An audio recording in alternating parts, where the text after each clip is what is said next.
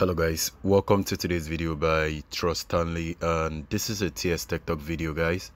And on today's video i'm going to show you guys how to see who have visited your facebook page story. So if you're uploading facebook page story and you want to know who visited it this is just the video for you. So let's dive into that. Um, go ahead and scroll over to the application and open the facebook application. And now i think i'm already logged into my facebook page. You can see um, it says TS Tech Talk, right? Now, um, I have a story I uploaded yesterday just because of this tutorial. Now, when you click on it, you are going to see um, how many views that I get is actually 68.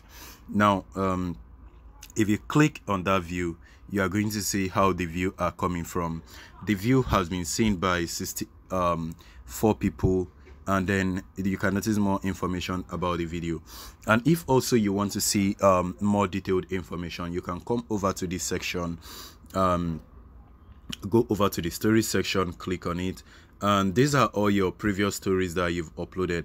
Um, sorry these are all the stories um, that are already on the page. So click on this archive area and you're going to see all of your old stories so if you click on anyone you'll be able to see um, how many people that viewed it. So when you click on this view, you can see all of the people that viewed it and how they viewed it. But guys, if you're actually expecting to see names of people that um, have seen your story, um, sorry guys, it's not possible. Right now, Facebook doesn't display the name of people that have viewed your story.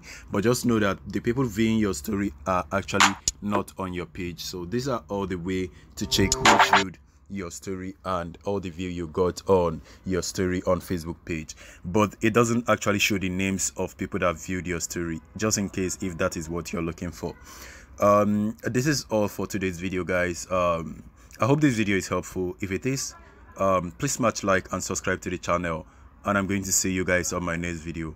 Stay safe and peace